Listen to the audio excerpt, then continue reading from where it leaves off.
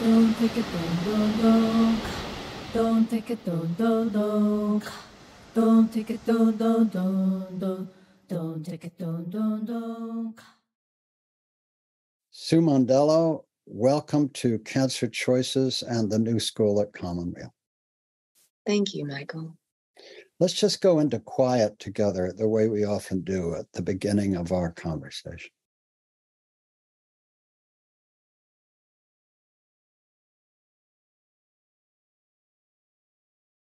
Peace, peace. Peace, peace.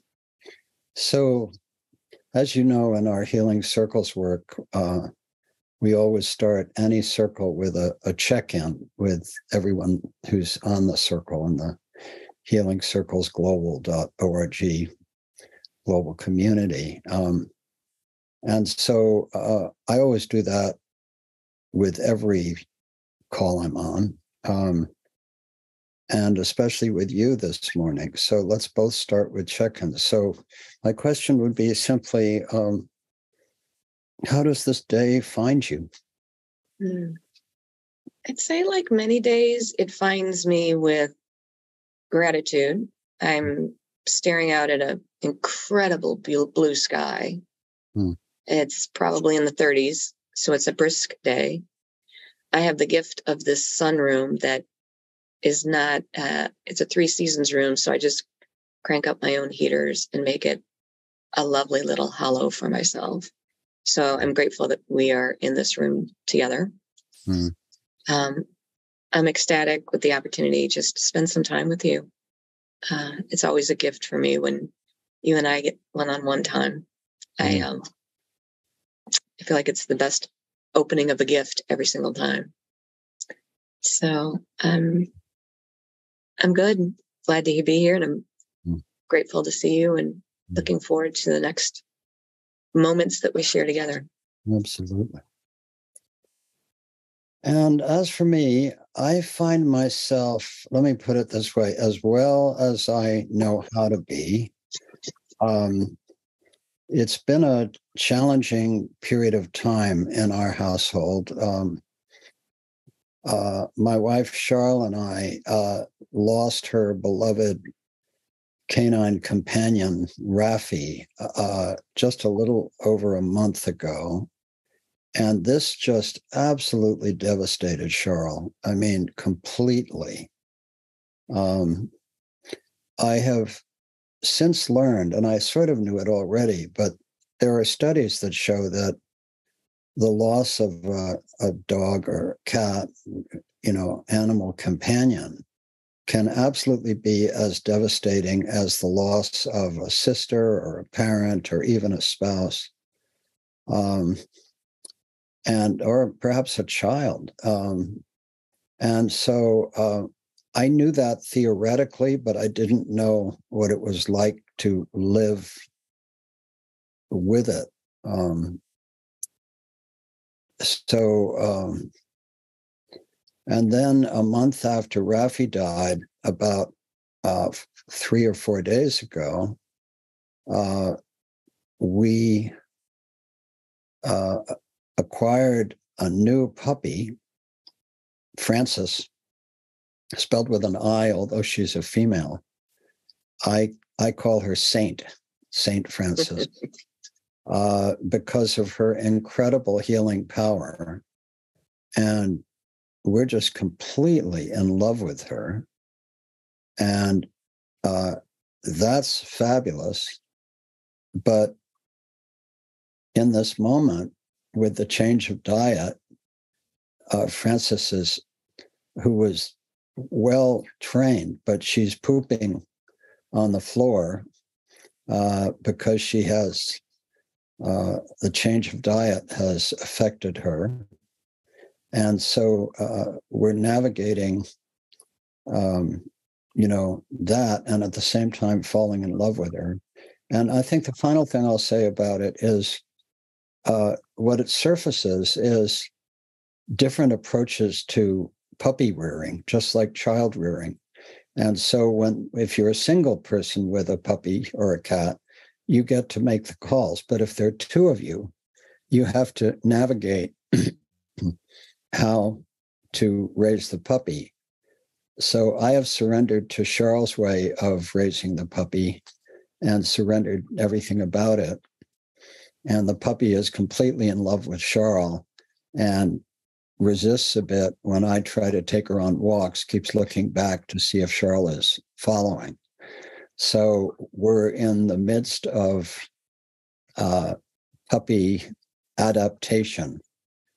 Um, and it feels a little bit with all the other things happening in life, like full catastrophe living, John Kabat-Zinn's phrase from Zorba the Greek. So anyway, that's how I am. Um, various other human experiences, but I thought I'd start by my truth today. Well, welcome, St. Francis. so, uh, Sue, um, we were just saying before uh, we began recording this conversation that um, well, we met in the Commonweal Cancer Help Program, and I, I remember we walked out to Jennifer Stoll's chapel together, a little wooden shack at the edge of the Pacific, uh, where yeah. people leave stones and messages to their beloved ones who have passed on. And you spoke of just this intense heart feeling that you belonged at Commonweal. Um, mm-hmm. And also, you and I just shared this experience. You said before we began recording that you felt you'd known me all your life, and I feel the same about you. So we start from this heart place together of mutual recognition. We explored having you work with us on cancer choices, and we're really thrilled about the idea. And then life intervened, right? So yeah. tell us um, tell us about where you find yourself with your cancer diagnosis. Mm-hmm. Wow. Um, just when I feel like I can't hit a, a new plateau, I feel like I've hit a new plateau. I entered hospice um, a couple weeks ago, and the intention of many intentions of hospice is to provide symptom relief and pain relief and to keep the patient as comfortable as possible. I often forget that my world is cancer. So when I'm talking with the practitioners, they have other reasons why people are in hospice. It could be from Alzheimer's or um, end stage renal disease. It could be a myriad of. So my head always seems to be in cancer. Most recently, my symptoms have been edema and lymphedema, and there are different types of edema. Um, the edema that cause is caused from the vascular system, and the edema from the lymph. And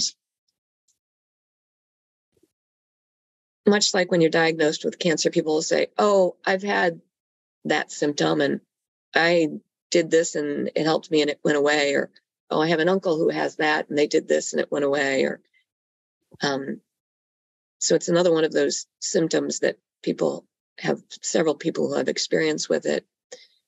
The challenge for in my circumstance is um, the tumors are sitting in a very precarious place, which means they are blocking my lymph nodes um, and therefore the flow down my leg.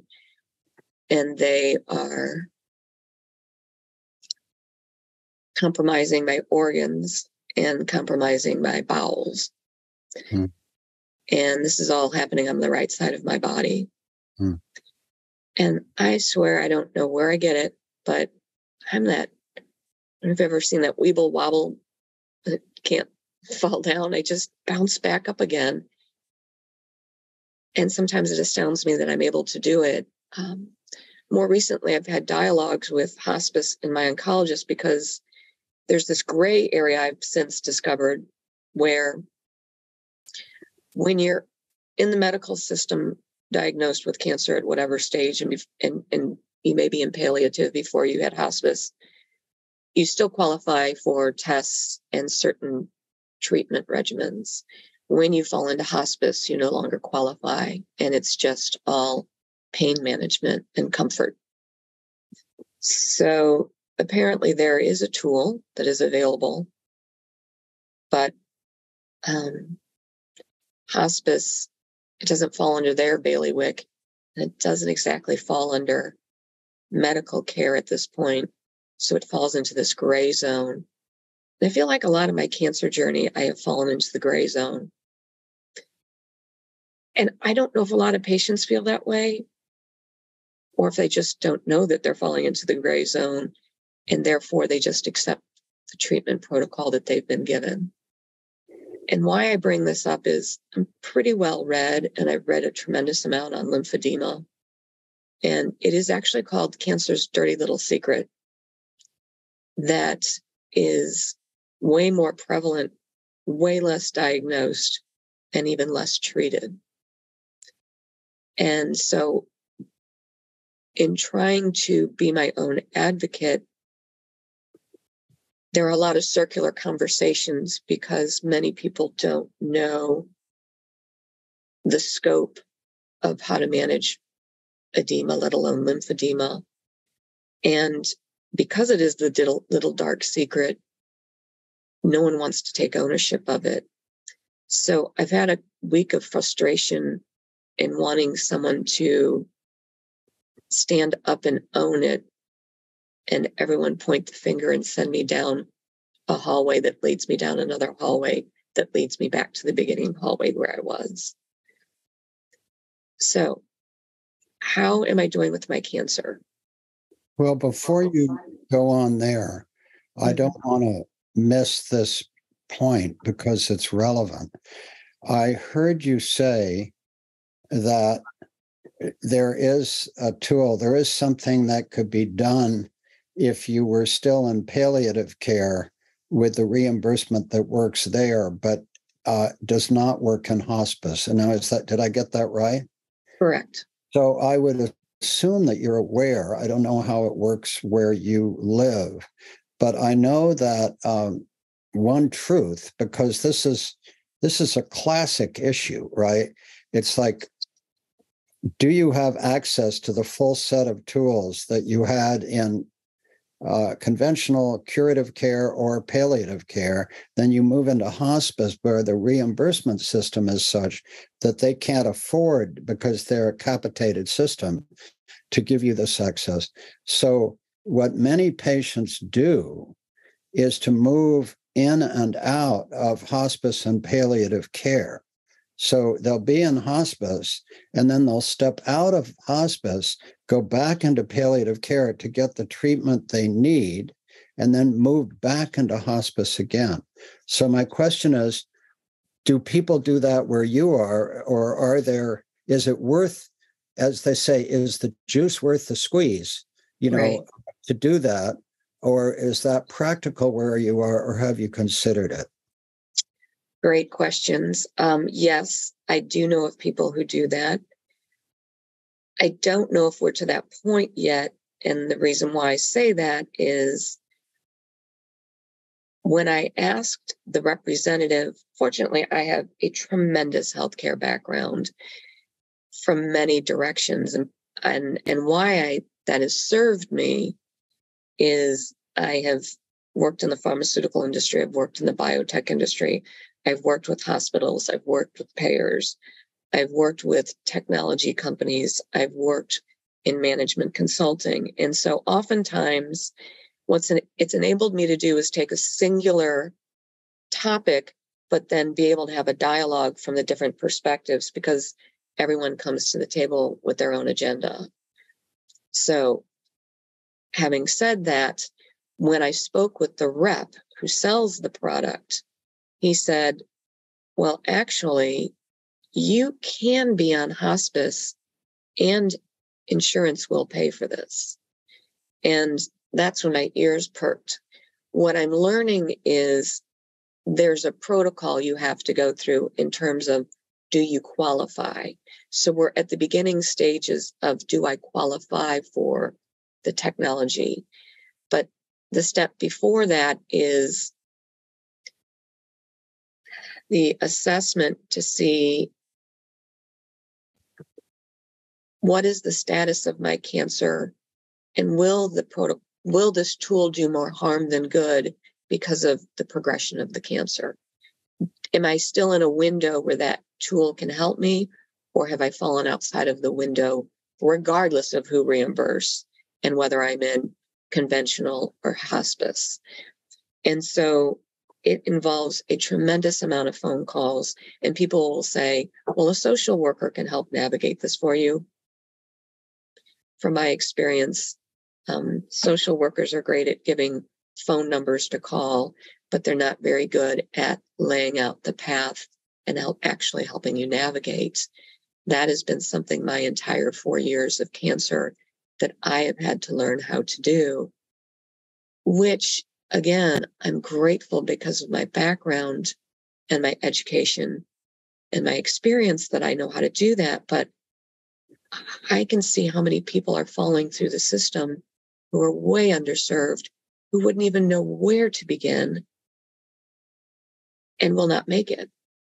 Even if they qualify, they will not make it because the system is very convoluted and there are no clear paths. And then someone can argue the point that we're all bio individuals, so it depends on the person to person.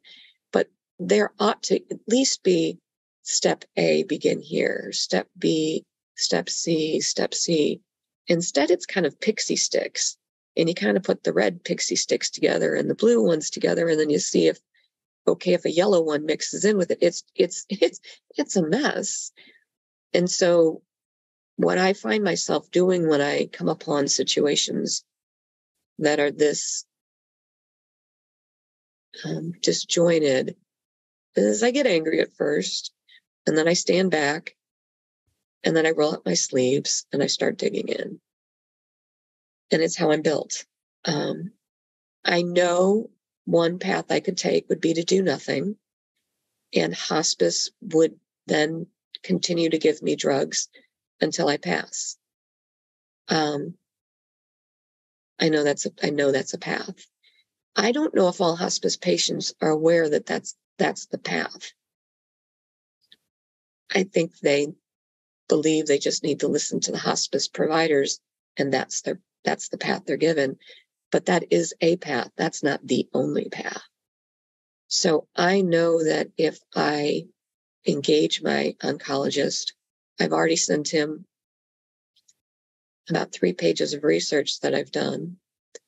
I've engaged the company that has the technology. I've started engaging um, there are lymphatic specialists. So, where do I sit in the lymphatic specialist spectrum to even know which modality would fit? Because some people can do well just with simple stretching and yoga, and some people will need stents. I'm past the point. My doctor said there's no way a stent will help me, but would this quote unquote technology help me? I don't know yet. So it's a new journey of beginning to identify is this a viable path for me? And the hours that will go into doing this is astounding, absolutely astounding. And I am doing this as my own advocate. I don't have anybody else doing this for me. And quite frankly, some days it just gets exhausting because I did this with my chemo, I did this with my immunotherapy, I did this with each of the different um, protocols that we looked at to identify is this the best protocol for me? And quite frankly, it's why I'm still here. I would have passed sooner had I not done all that work. But some days you kick the tires and the tires feel a little tired. Um, but it's our system. And it's Can what I know. What, what the technology is that might help you? What's it called? I believe it's called Flexi Care. It's Flexi. Um, What does it do? my understanding, um, and I when I spoke to the rep, he had offered to give me a demo. our heart is a natural pump for our um, blood vessels. Our lymph does not have that natural pump. And I believe what this is, is it's a, it's a piece of material that goes over your arm or your leg. And by the way, when I did my research, up to 83% of breast cancer patients are impacted by lymphedema, and up to 50% of endometrial cancer patients are affected uh, uh, by lymphedema. And I believe over 10 million Americans, uh, cancer patients, are affected by lymphedema. So there's a large number of us. What this tool actually does, I have not seen a demo, so I'm not 100% clear. And I don't know if it would be adjusted based on disease. Would it would a, lung cancer patient or someone who had their lymph removed have an adjustment? I'm I'm I'm pretty sure there's an adjustment for the arm for the breast cancer patient, and then the one for the leg for someone with lymphedema in the legs. So I'm still literally in the very early stages of understanding this technology. Beautiful, thank you. Let's um, I do this. Let's just take a moment and go quiet again together and just sort of bring this part of the conversation to a close. Peace, peace. You know, just being with you and listening to you, this is exactly why we so wanted to work with you on cancer choices, uh, because, uh, and you're actually working with us right now, you know. we just didn't expect to do it this way, but your incredible background and and pharma and every aspect of healthcare from uh, the spiritual, psychological, nutritional, physical. This is what Cancer Choices is all about. Um, so, um, Lord, I, I'm so sorry that we don't get to do this for a long time together. You know, yeah. yeah. It is. I was saying the other day, there are times where you feel like you come into a place and you and you think, "Oh, this is nice. I could I could be here," and then you come into a place and you exhale and you you think, "Wow, this is where I belong. These yeah. are my people." And from the moment I started reading your work, I devoured it. I was like, I couldn't get enough of it. I, I wanted more and more and more. And your approach and your thoughtfulness and your research and the perspectives, it, it is home to me. It is very much home to me. And I know also part of the reason why I am where I am today is because of Commonweal and mm. all of the work you and your team have done. Mm-hmm. It has informed me. It has given me hope. It has enlightened me. Um, it's helped keep me alive. And for that, I'm very grateful. Hmm. People are so afraid of quiet, you know, just these pauses and the, just this drive to keep talking and jam in as much as you can. You know, soul doesn't work that way, you know, soul needs spaciousness, you know, just space. Um, I want to start at the very beginning. There's many other things. This is a spiritual biography. Um, where were you born and raised? Hmm. I was born and raised in Bogota, Colombia. My parents were actually missionaries. My hmm. father was um, working with the United States and Latin America to help build international relations. From that grew many things. Mm-hmm. Um, in third and fourth world countries, education is wealth. Mm-hmm. And um, he was involved initially with the University of the Andes. I believe he worked with Fulbrights. Um, he actually formed one of the first strikes in Bogota and Latin America for teachers to learn how to achieve just wages. And then was later hired by the Javeriana University, which is the Jesuits, and did work with them as well. Um, I was too young to know, but he entertained heads of states and heads of countries in terms of how to bring about better education. And um, I actually, we actually moved back to the United States. There are five of us in my family. Uh, we moved back when I was a year and a half because it was becoming dangerous to have American children in the streets. And with five of us, that's a lot to manage. And um, because he was working with the Javeriana University, he was offered to come run the international program at St. Louis University. And that's how we ended up here. Um, although both of my parents are originally from Michigan, they are both full blooded Italian descent. Um, so, so Catholic. Yes. Yeah. So, and so where were you in eighth grade? eighth grade. Great question. That's a fun, and I'm I'm intrigued that you asked that question because I had gone in and out of the Catholic and the public schools, and in eighth grade, I was approached to become commissioner of school spirits. One of the nuns approached me, which meant I oversaw every grade, kindergarten through eighth grade. So whenever there were pep rallies or basketball games or any kind of events, I was the commissioner that rallied everybody.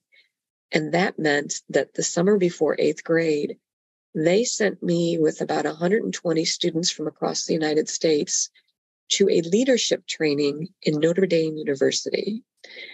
Um, so I have attended leadership training my entire life. And the first one I ever attended was when I was, what, 12 years old at Notre Dame University. And it was astounding. It was to this day a life changing event for me. So I find it very interesting that you asked me where I was in eighth grade. I was cheering on my entire school and I was getting leadership training at Notre Dame University. Mm. My father taught for several years near the end of his life at Notre Dame. Uh, he was a political philosopher named Max Lerner, you know, full blooded Russian Jew, right? Uh-huh. Uh, and actually, he had an advanced cancer at that point and uh, but he was so committed to being able to do this that he willed his way through two years of teaching with a distinguished professorship at Notre Dame. Uh, so I have a I have a soft spot in my heart, uh, not only for Notre Dame, but I really have a profound soft spot for what I would call the the inner teaching of the living Christ. That is yeah. to say, uh, not the bureaucracy, not the institutional dimension, but the inner truth that has been nourished uh, in the Catholic tradition uh, that goes all the way back. And so, because, you know, I sometimes describe myself as a Jewish, Christian, Buddhist, yogic, Sufi with Taoist influences. But I also say that the way spirit comes to me in difficult times uh, is as as the living Christ. And you and I have talked a little about our shared experience of of the inner teaching. I mean, I don't distinguish the living Christ from the Buddha or Krishna or, you know, to me, these are, there's, you know, I, I believe, just I choose to believe, I would say that truth is one, paths are many, and that there's a, a light that comes down and fractals out into different traditions of uh, great teachings. But the one, because my mother was a secret Catholic, uh, married this secular Jew, and couldn't teach her children that directly, but she had me smuggled out by a nanny and baptized uh, at St. Patrick's Cathedral in New York. And she tells me that I fell down in the aisle in front of the uh, altar in prayer at an early age.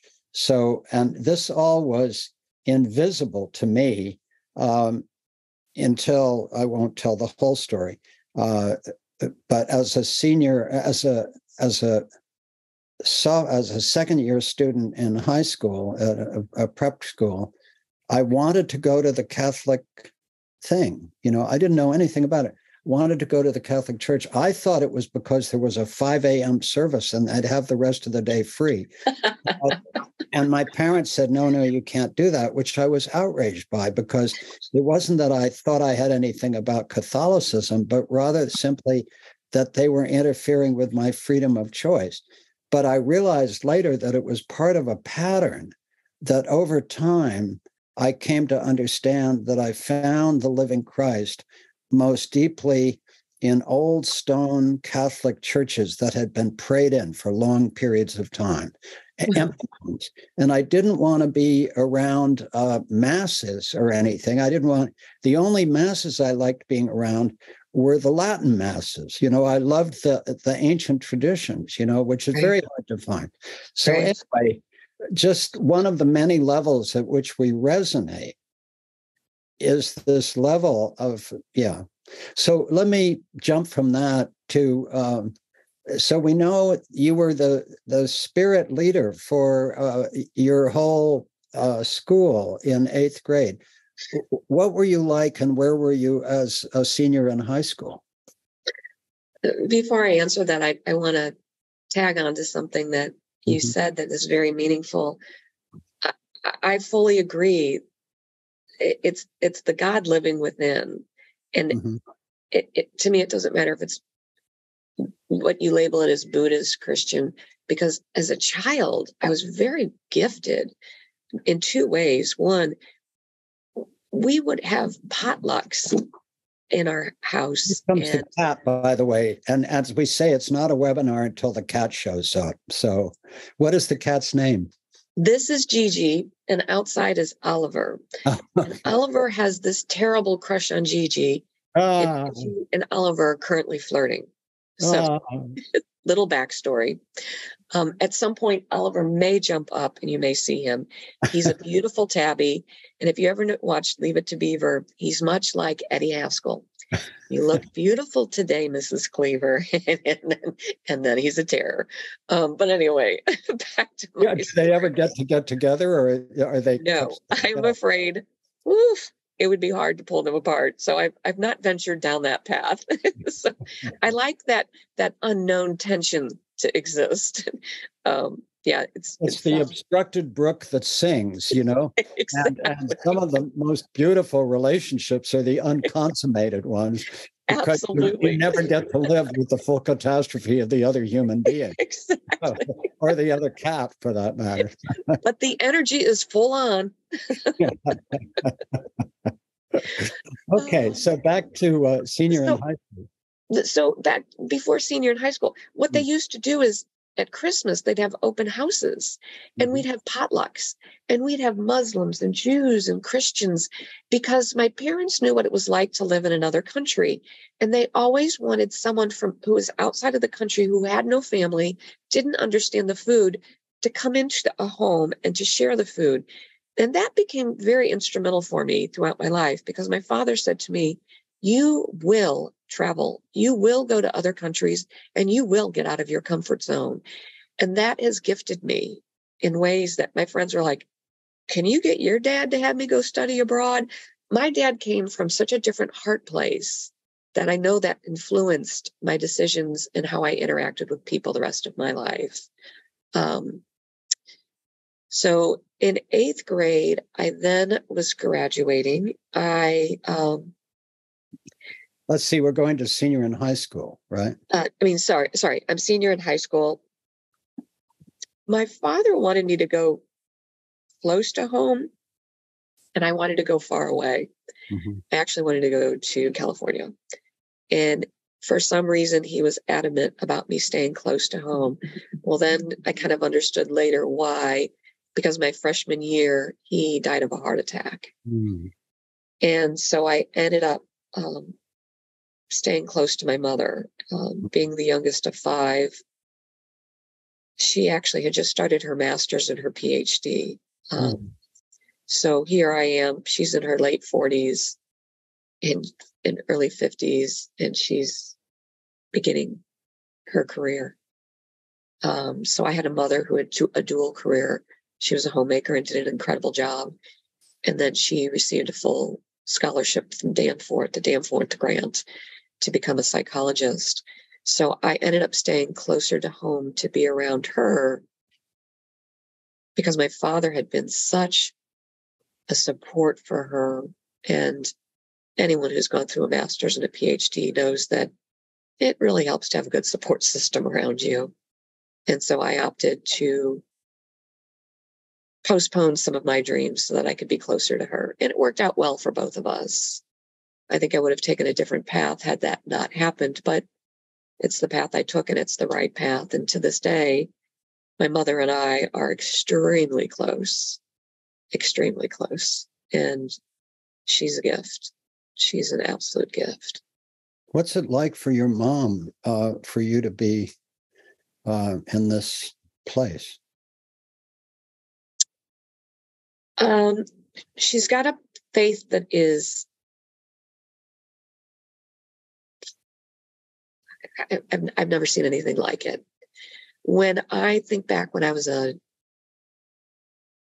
all the way back to grade school, when I would come down in the morning, my mother would be sitting in this big wing back chair and she'd be sipping her coffee in the dark. And she was meditating and praying. Before meditating became this thing, that's what I witnessed my entire life was my mother sipping her coffee, praying and meditating. And to this day, that's how she begins her hour of her life. And um, she's so deeply grounded. Is she perfect? No. Does she make mistakes? Absolutely. Does she have her idiosyncrasies? Of course. But she is so incredibly grounded. Um, so, in answering your question, it's hard. It is hard watching her youngest child. It's hard watching her child go through this.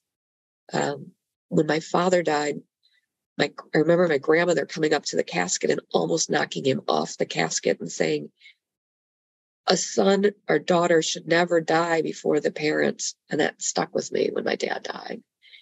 And my mom and I have probably deeper conversations than most people have. And we talk about heaven, we talk about the life hereafter, not heaven, we talk about the life hereafter. We talk about our ability to communicate with those who have gone before us. We talk about how we'll communicate when we're no longer here. Um, in one aspect, she has a tremendous amount of peace. And in another aspect, she feels completely helpless because she cannot fix this. And she has to watch me deteriorate. And she, proof, she has watched my body go through hell. And and as a child, my mom just loved to kiss her fingers and toes. She thought all of our bodies were just so beautiful. And to this day, and to this day, she'll still play with my toes and my fingers and kiss them and tell me how beautiful I am. And I think as a mother, it's very hard for her to watch my body shut down and to shut down before her body. So it's a conundrum. It's a definite conundrum. But there is so much love there that it, love is the answer. Love can withstand and manage anything. Love is love is the way. Love is the way. That's the great teaching, isn't it? Yeah. Love is the way. That's the great teaching. In the uh, Bhagavad Gita, the great text of the Hindu tradition, the, there are three great yogas um, Bhakti Yoga, which is the yoga of love, uh, Jnana Yoga, which is the yoga of wisdom, and Karma Yoga, which is the yoga of service in the world. And they represent the three great centers that we're all given. Um, our hearts, which is uh, bhakti, the yoga of love, uh, our minds, which is the yoga of wisdom, and our hands, which is the yoga of service. And this is what each of us is given. We're given our hearts, our heads, and our hands. And one finds that triadic truth in every great tradition because it's what we are physiologically organized to be.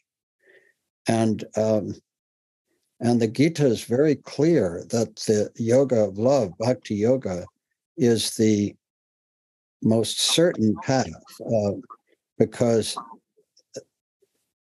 the yoga of, of wisdom, the Gita says it's so easy to get lost in wisdom. And the yoga of service, yes, but if the hands aren't guided by the heart and the mind toward, you know, skillful, skillful love, you know, then the, the service is misguided. So, um, does your mother live near you or far away? Two miles. Oh, what a blessing! what a blessing. Yeah, I used to live in the. I you know I grew up here. I've been in about twenty two countries, and have lived in different parts of the the world. And I had been living in the Northwest in Anacortes, not too far from you. And um, I reluctantly came back to St. Louis, but she was aging and none of the other siblings were here. And she really wanted to be in the town where we grew up, which is Webster Groves, which is a, a really special town. And so we both live here. And um, she lives in her own place. She still manages on her own. She's astounding. I live in my own place. I now have um, care every day, uh, friends and family who come in and are with me every single day. Um, and it's also, she's 38 years older than me because she had me later in life and she doesn't need everyday care and I do. So it's, it's also astounding for her to watch me at certain times, the irony of how this all plays out. Does she still drive? She does not drive, but She's still in a book club. She plays bridge. She plays canasta. She's in a poetry group. She um, is in a faith sharing group. She's incredible, absolutely incredible. So you mentioned that you and your mother talk about life after death or what happens with the soul. And when in one of our personal conversations earlier, you talked about having experienced the other side. I think you said at least twice. Yeah. Um, what were your experiences of the other side?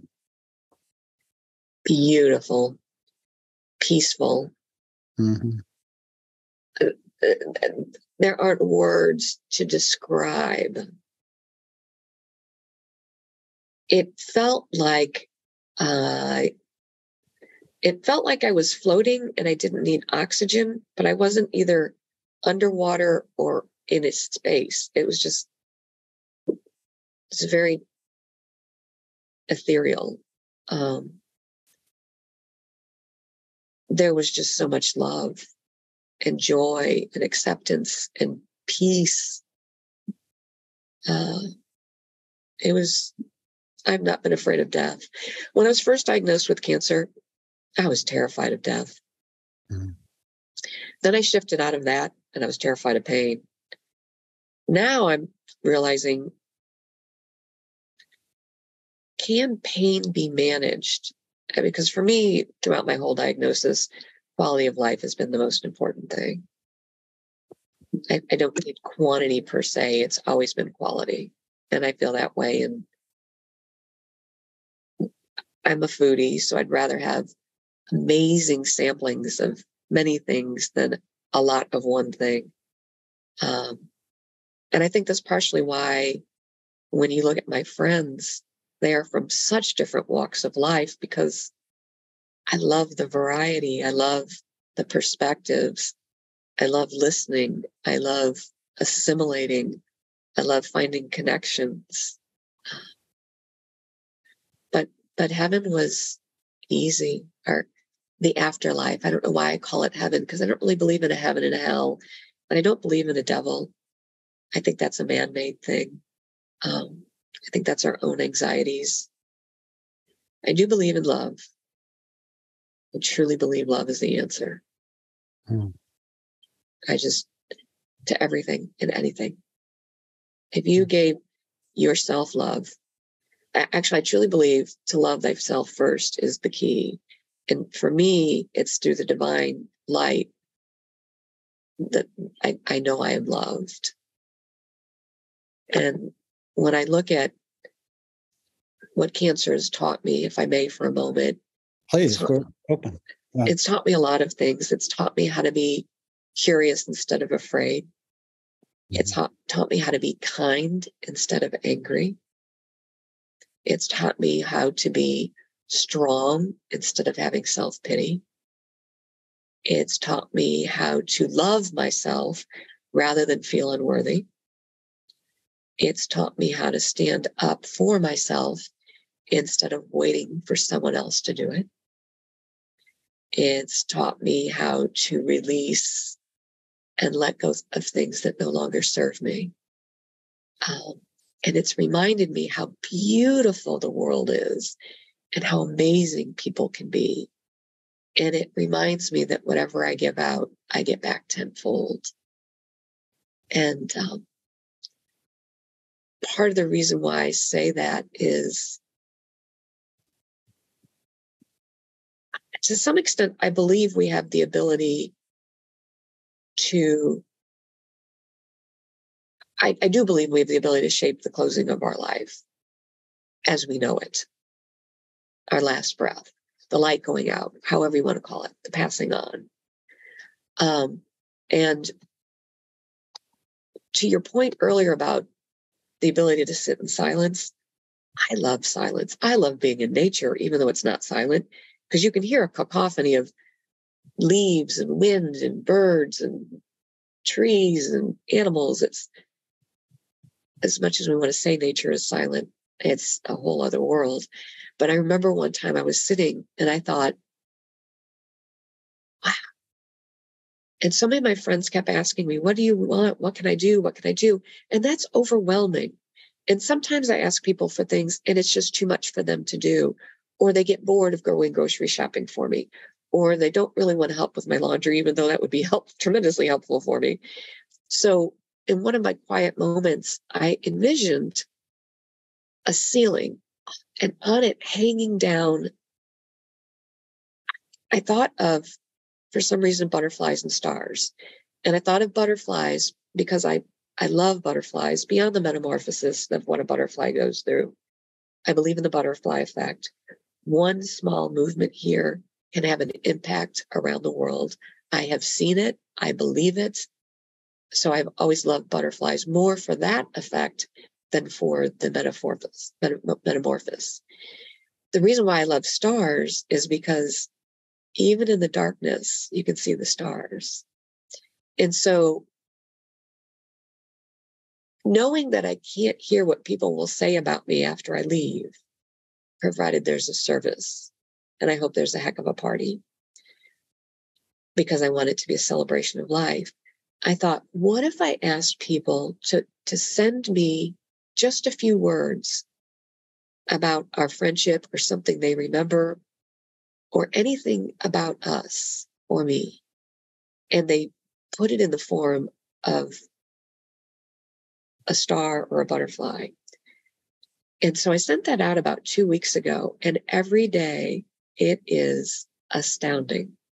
I get a package, I get a card. I am getting some of the most amazing, fun, creative expressions. And that's what I wanted it to be. I wanted that person's expression of themselves. And one of my friends who claims he, he is a statistician, he's not, he doesn't just claim, he is a statistician and he says he's not very artistic.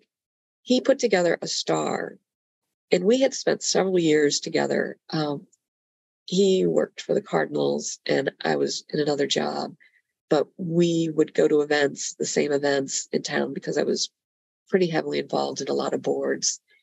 And um, our our way of getting out our frustration was to play hit golf balls together. So we had this routine where we would hit golf balls and then we'd we'd play for a hamburger or a martini or whatever.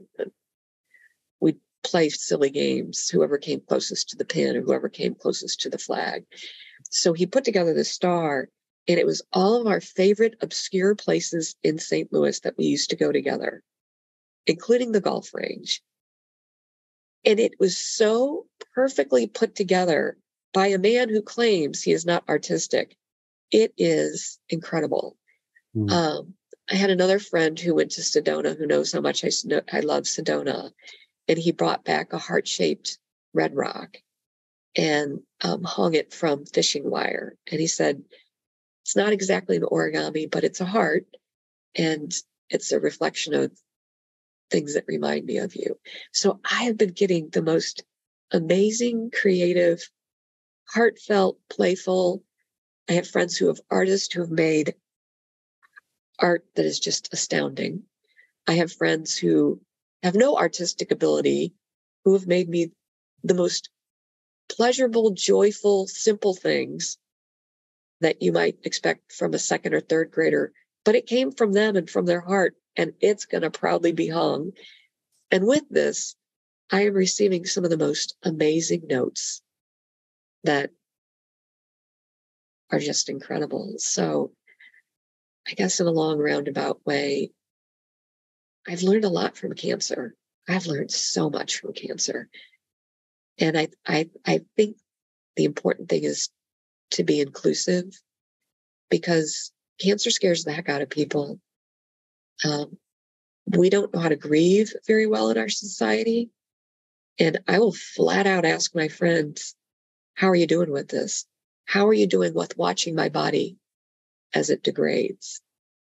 And they've never had frank conversations and we'll talk about grief. And I'm not afraid to go to the difficult places as long as people know it's in love. And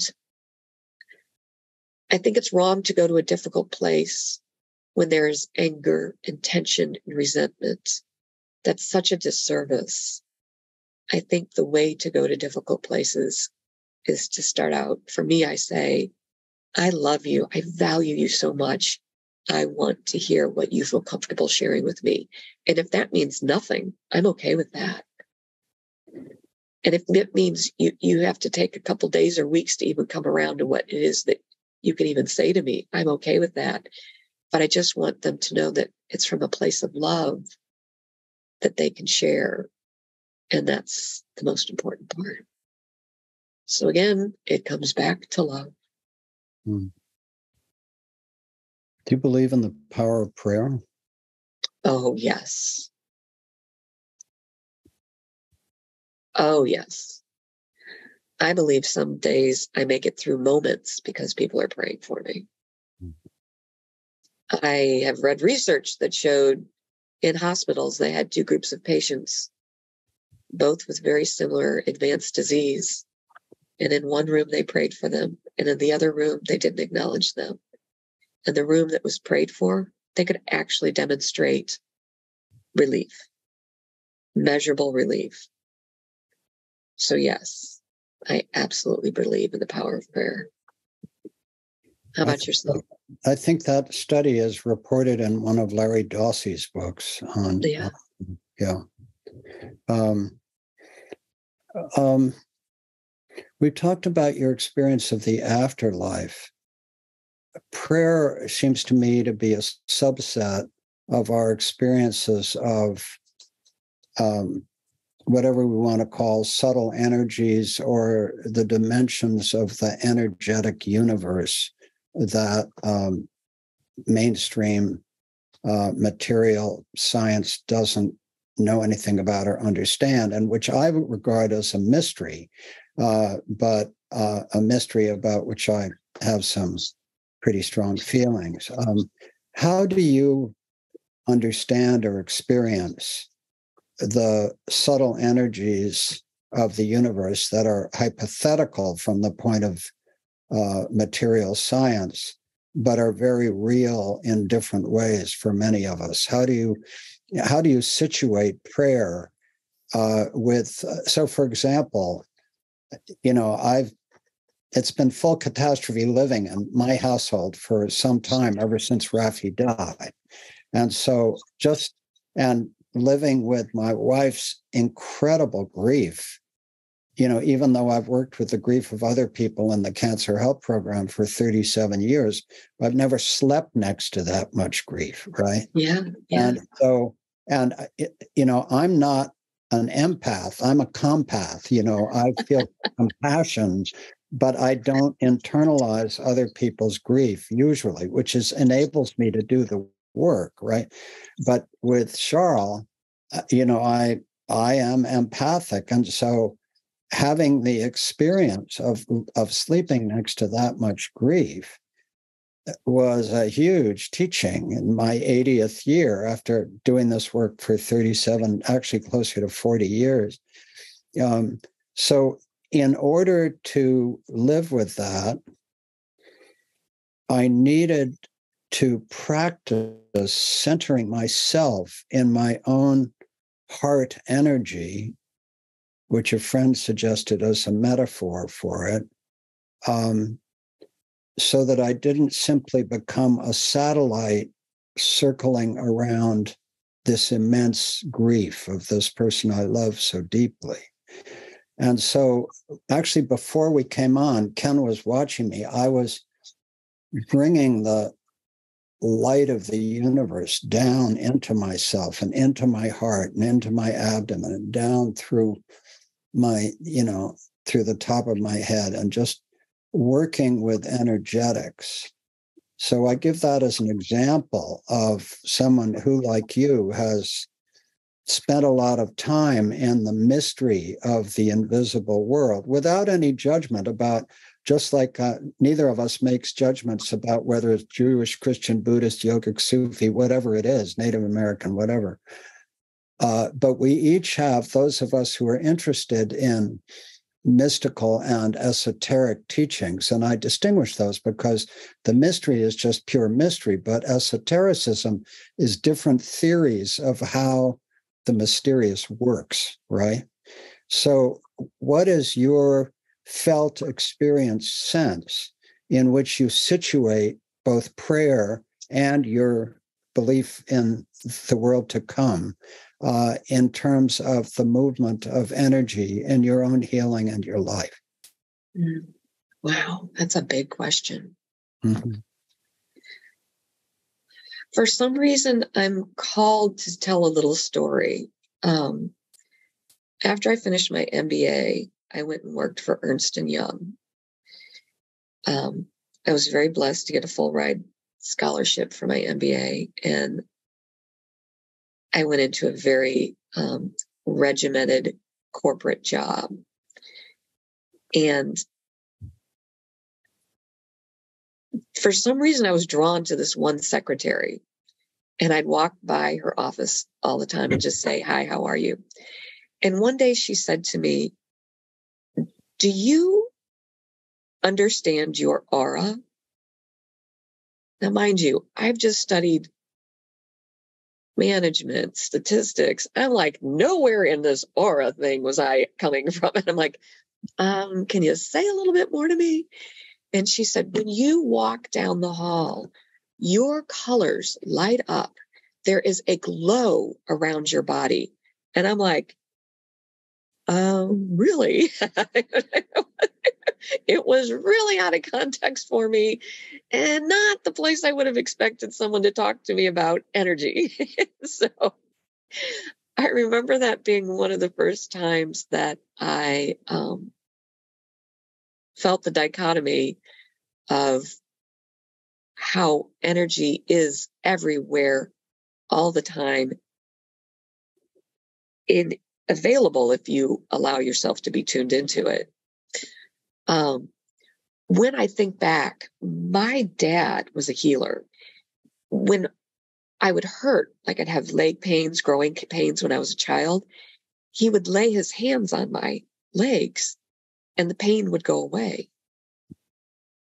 And so no one ever talked about it. No one ever said, What was that? We just knew that if dad laid his hands on you, the pain would go away. So I think for much of my life, that energy was a given, but not discussed. and then later, as I learned of different modalities, um, Reiki, you know, massage, and and allowed myself to experience those modalities and to feel energy flows. I started to realize it's not my imagination when I walk in a room and I can feel somebody's energy and I can feel is that a, a warm person, and a welcoming person, or is there a lot coming off of that person that is really challenging energy for me to be around? It took me years to understand that I had the ability to choose that or not. Sue, when you spoke of your father laying his hands on you and the children, the five children, all knew pain would get better and that your father was a healer. Um, and but it wasn't discussed. Um, do you think he knew that he was a healer? Uh, in other words, there are certainly traditions in which one doesn't speak of these things, right? Right. I don't know why we never spoke about it. But do you think he knew? Yes. You do? Okay. I mean, there are certainly, you know this really well. There are many traditions, Christian and otherwise, where the laying on of hands, you know, it's it fits perfectly into many traditions, right? Yeah. So, do you think he had any sense of that? Absolutely, I do. Yeah. I I think my I think my father is giddily waiting for me. I feel his presence more and more. And he was one of my greatest champions. When I told my dad about this commissioner of school spirit thing, he literally said to me, Great, we're going to do a campaign. We're going to do little cards. You're going to have a speech. You're going to have three key points and you're going to win. like, who are you? And what are you talking about? so my, my father was my champion way before I understood any of what any of that meant. Um, well, speaking of three key points, um, imagine, and we've we've covered this in different ways, but imagine that somebody with an advanced cancer is listening to us or watching us. Um, what are the th- and they are facing either they've entered hospice or facing end of life. Uh, what are the three key things that you would want them to know? Hmm. Loving themselves unconditionally is essential. Mm-hmm. I just find myself taking a deep breath when you say that because in my own struggles, you know, with full catastrophe living, and you say that, and there's just this inhalation and exhalation of, ah, yes. So, what are the other two? Learning how to surrender mm-hmm. and let go. Mm-hmm. Surrender could mean surrendering to your expectations. Surrender could mean surrendering to a dream. Surrender could mean letting go to something that has upset you in your professional or personal life, just surrendering and letting go. Mm-hmm. And that surrender also means trusting the process. Mm-hmm. And then I'd say probably living life not waiting to die. Mm-hmm. What matters most to you? Focus on that and live life. Mm-hmm. Because we all know what the end's going to be. Mm-hmm. We don't know where we're going or what it's going to look like. Mm-hmm. But don't worry about it. Don't worry about trying to control that. Mm-hmm. Don't worry about that part. Live. Mm. And and for me, that means being present. That means it, it's interesting. Like the other day, my mom and my friend Carla were here, and I got four different packages. And they're like, Well, aren't you going to open the packages? And I said, No, not yet, because I need to be present. I need to have no distractions. These are thoughtful gifts that people put together for me. And even though they're not physically here, I I open up a space in the table, I get out a notebook, and I carefully unwrap. I study it. I let myself feel what I feel. I read the note. I jot a little note that I want to say some back something to them about it. If I were not present, we just go through the motions.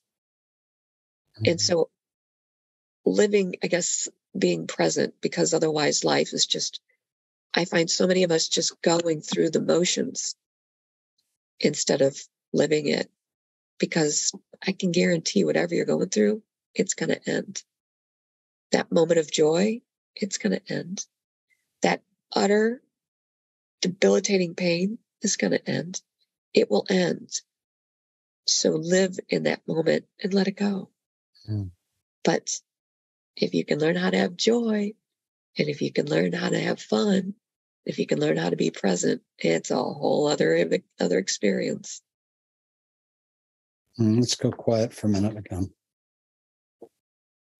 Loving ourselves unconditionally, surrendering, and living life, being present, knowing that whatever is happening, that moment of joy, that pain, it will end. Loving ourselves unconditionally, surrendering to the process and not waiting to die, but living. Loving, surrendering, living. Loving, surrendering, living.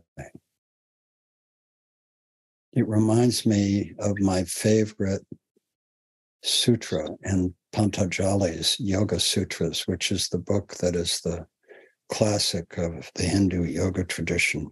I was just looking at it last night, the Yoga Sutras of Patanjali.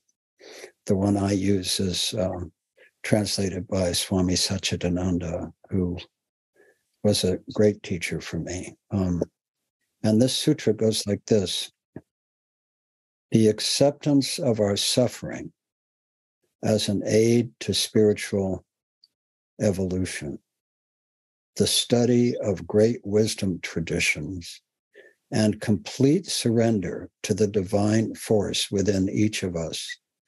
These three things are yoga in practice. I'll say that again. The acceptance of our suffering as an aid to spiritual evolution, the study of great wisdom teachings, and complete surrender to the divine force within each of us. These three things are yoga in practice. It's the branch of yoga that's called Kriya Yoga. Uh, and that's understood in different ways by different teachers. But this is the second book of the Yoga Sutras.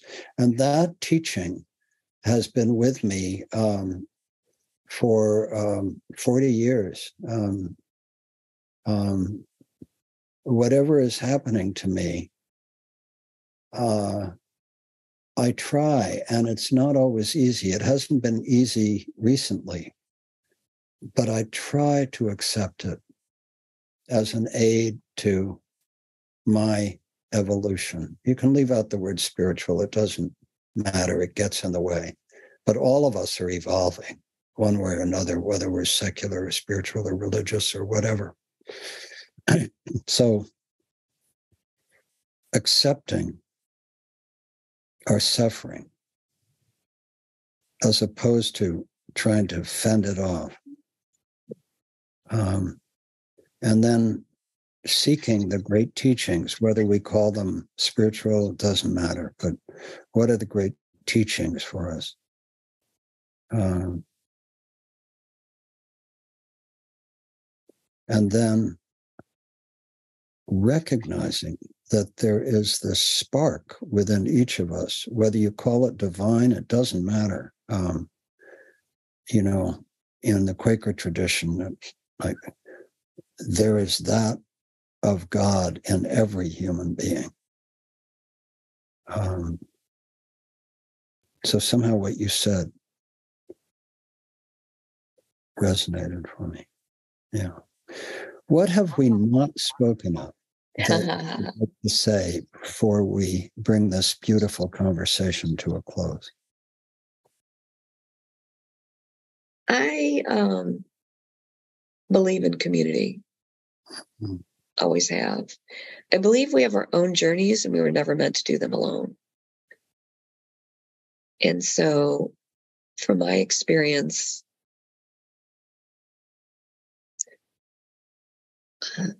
learning when and how to let people in and learning when and how to be a part of a community is essential for mm-hmm. life. Um, because accepting means accepting help. Accepting means accepting something is the way that it is, even if it's not the way you want it to be. And that, I guess along with that goes receiving. And so if, if you are in community, it's about giving, but it's also about receiving. And for me, again, the underlying tone is love.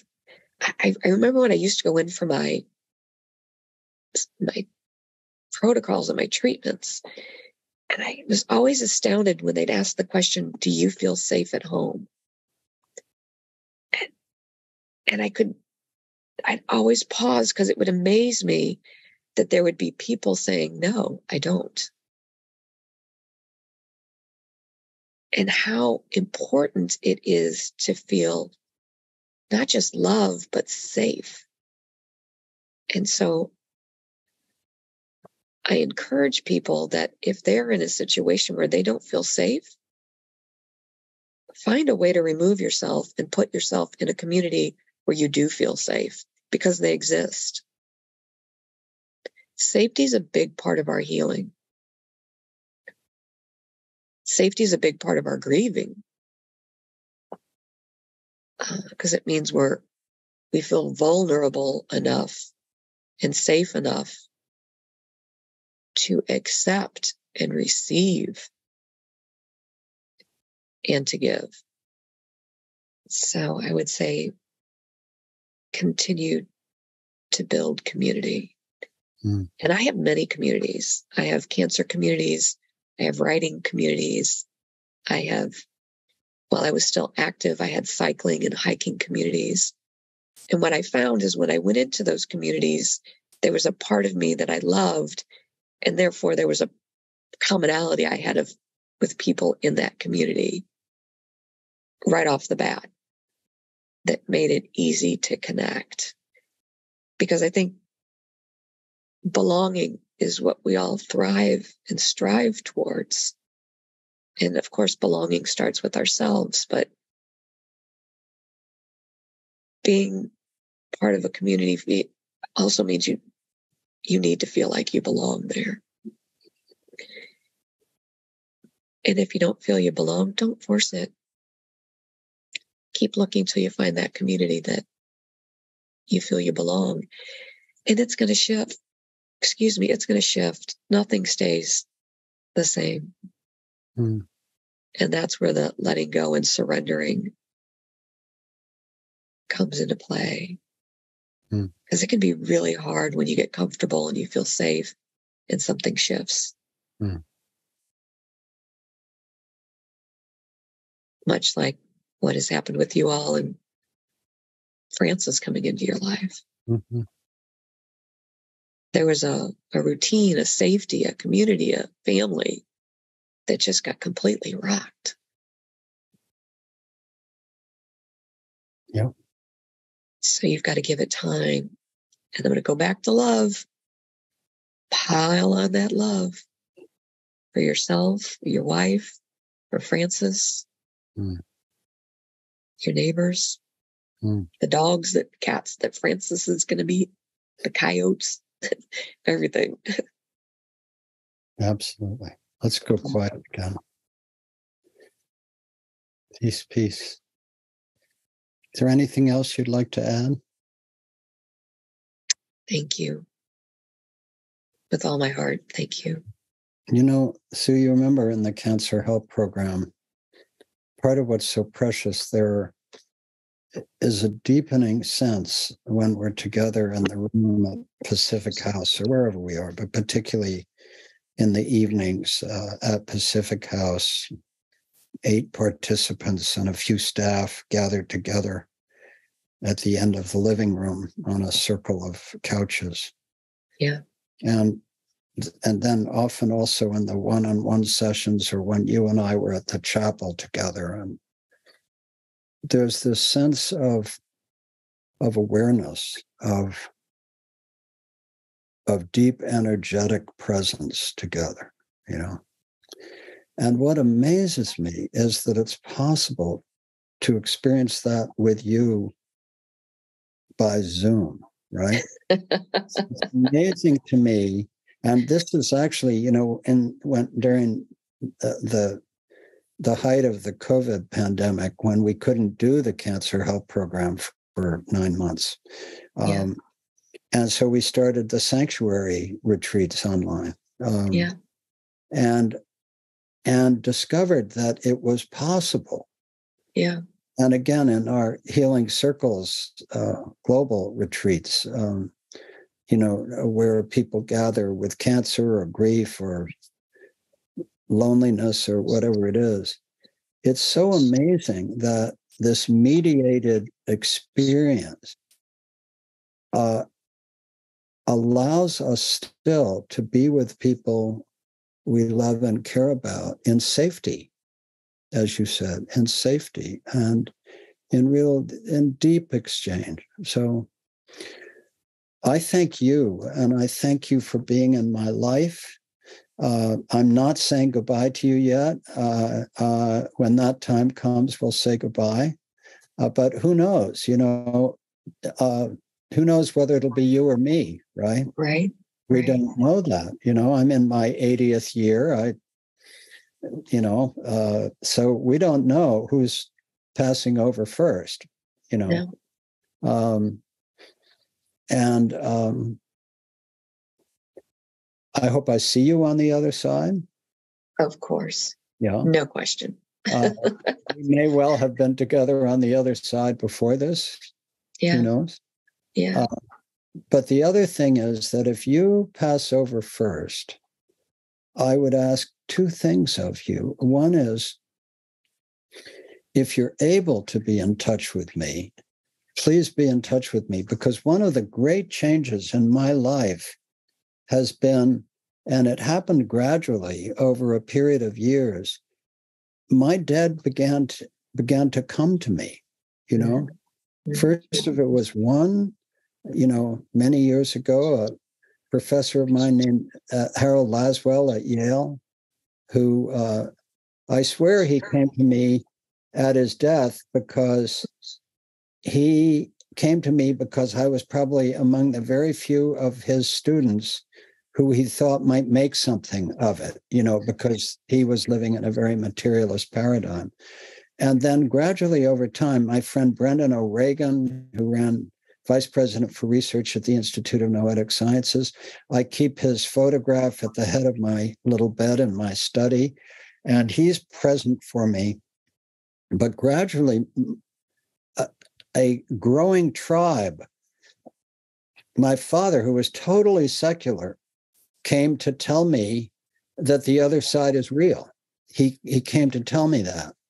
And so I could tell you many more stories, but so I hope that you will join my dead if you if you pass before I do. I. And um, the other thing I would ask you to do is to um, watch over and pray for and support and guide our work, whether I've come over with you or not. If we can be part of the beloved community on the other side that is guiding the work, you know. Yes. My friend Francis Weller says that there's a high level of unemployment on the other side because we don't call on our dead yeah. for wisdom and guidance, you know? Yeah. yeah. And, you know, and this is a great teaching that we need to call on our dead and ask for their guidance, you know? Absolutely. They're there, they're present. They they want to support us. But if we don't, but spiritual protocol is it requires that we ask. Right. Yeah. That's a beautiful point. First of all, yes, if I go before you, I will definitely be communicating. And to your point, it is so important we ask.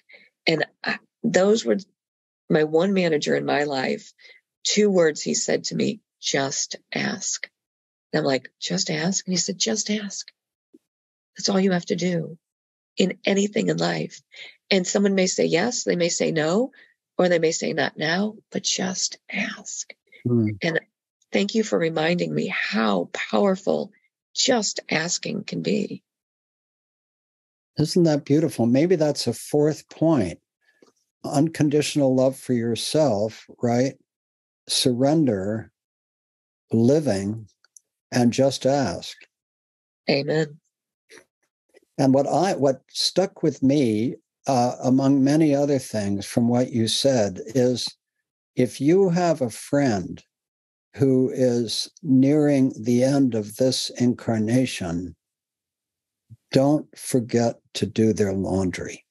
do not forget that doing the laundry or picking up the prescription or driving somebody to the medical appointment or providing right. a meal, you know, I mean, don't think that sitting around, you know, talking about spiritual life is uh, what they want or need, or indeed that they want to talk about dying all the time. You know? Right, right. I mean, I, I have a friend up on Whidbey, uh, Ann Kutcher, who runs uh, Enso House, which is a Zen hospice up there, and we did a spiritual biography together. And she works with dying all the time, and um, and uh, I said to her, Do you ever get tired of talking about dying? She said, All the time. I don't want to talk about dying.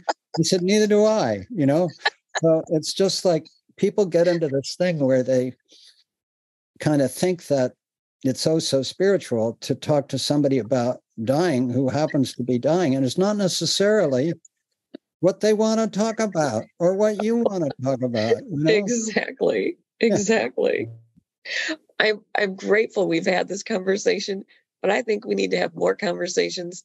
And I think we ought to touch on some different topics. And I know we'll have a lot of fun doing it.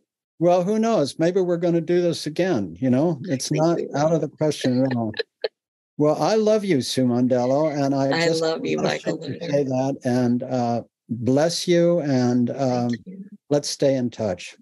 Thank you for being with us at Cancer Choices and the New School. Absolutely. Don't take it, don't, don't, don't. Don't take it, don't, don't, don't. Don't take it, don't, don't, don't, don't. Take it, don't, don't, don't. Don't take it, don't, don't, don't. Don't take it, don't, don't, don't. Don't take it, don't, don't, don't. Don't take it, don't, don't, don't. The river is a healer. The river is a savior. The river knows no end, and the river feels no way.